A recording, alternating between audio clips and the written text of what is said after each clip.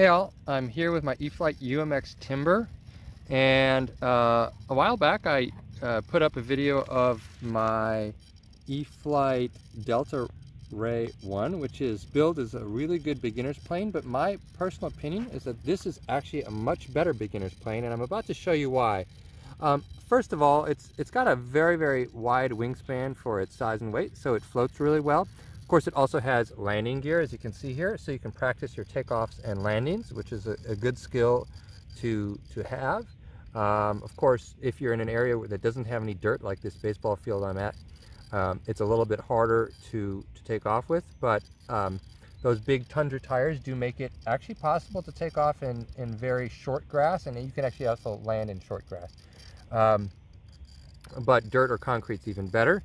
And the other thing about this is that it can just fly so incredibly slowly that you can really practice your moves.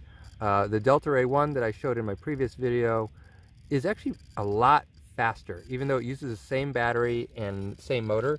It's just so much lighter and I guess maybe more aerodynamic. It just goes, which is nice if you want a fast plane. But if you're new to the hobby, a fast plane is actually not really what you want. You want a plane that um, you can use in small spaces and is very docile and, and uh, turns maybe somewhat slowly, but also moves slowly. So I'm going to show you how this takes off. By the way, this does have functioning flaps. I'm going to show those to you.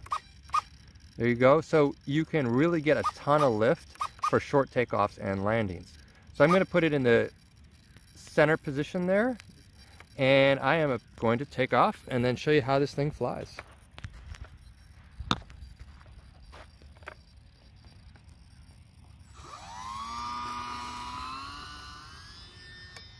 Right. There we are. I am flying one-handed, so I'm going to keep it pretty simple here. I have the flaps in the medium position. That just gives me a little bit more lift.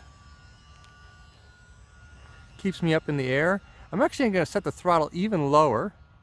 I'm going to show you how slow this plane can go, which is just great if you're learning to fly. That's at about, oh, I don't know, 20% throttle. It's, it's really not that much harder than flying a kite. Look at that. I'm gonna let it go by me here. I had to give it a little bit more throttle because it was kind of edging too close to the ground and I've only got one hand here to fly with. Take it down a notch again and bring it back by.